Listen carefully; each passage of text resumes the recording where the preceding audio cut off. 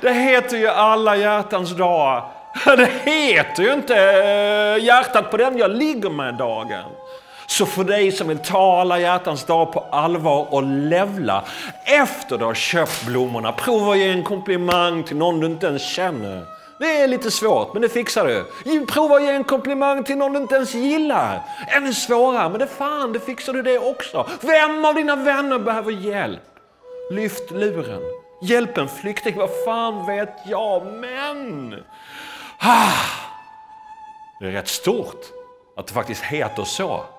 Alla hjärtans dag. Grattis på den dagen. ja, tack för mig.